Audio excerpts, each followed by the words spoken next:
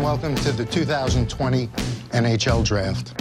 The draft is where a young man's dreams come true and where the foundations of franchises are built. Draft day is really important for us as an amateur scouting staff where you work all year for really a day and a half. And it's exciting, you know, the guys can't wait to see who we're going to pick. As excited as compared to getting somebody in there. A uh, kid named Lapierre. He seems to be open.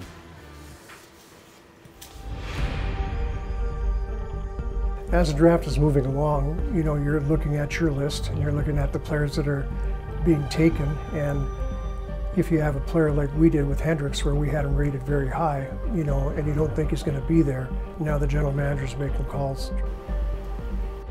Mac here. You fought for 24 to 29 at that to 61. Like it's, it's just not I the- possible. the- That's a big jump, seven picks. Yep. potential for trade here. We'll have to see what's going on here. I'd like to announce a trade. Uh, the Calgary Flames are trading pick number 19 to the New York Rangers. Yeah. One those guys, a Yeah, to me- combination of like this guy and Yeah. that guy or To me, something. there's a tier break. To me, there's a tier break. I take the French guy all day long. Yeah. Tree. Uh, any interest in moving back two spots?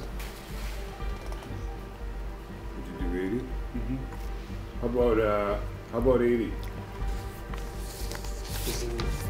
We have a trade to announce. Uh, the Calgary Flames are trading the 22nd selection in the 2020 draft to the Washington Capitals for selections number 24 and 80. Washington, you're on the clock. We all know the risk. Top 10, right? Really good hands, Good skater. unselfish. With the 22nd pick, the Washington Capitals are proud to select Hendrix Lapierre.